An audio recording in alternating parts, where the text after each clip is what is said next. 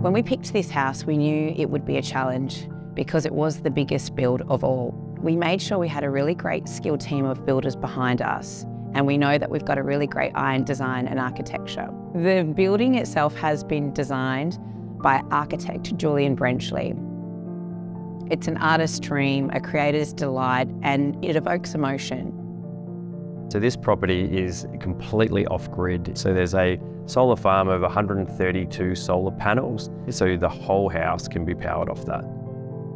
I wanted to honour the land upon which the house rests as well as the surroundings of the Macedon Ranges. So we went for an approach of bringing the outside in whilst having top of the line, top of the range amenities and everything you could ever ask for for a house that is off the grid if you wish for it to be so.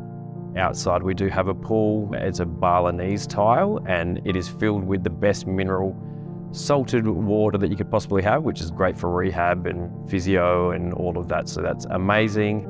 We have a deck on the cantilever which has a barbecue on it, so that's a great alfresco space where you can have family, friends on a, on a wonderful Macedon Ranges day. So we've gone for a bit more of a modern approach here while still being country. Um, high stakes in the styles as well and the creative art space.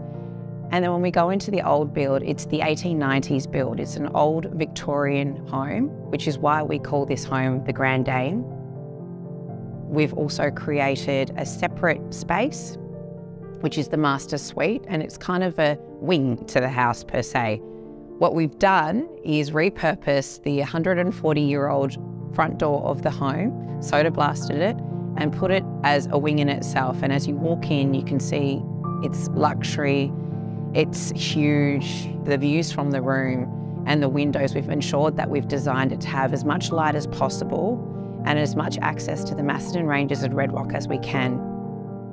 There's been bold decisions made on the floor plan to create an amazing space. Uh, it definitely has its own character. It is the Grand Dame on the hill.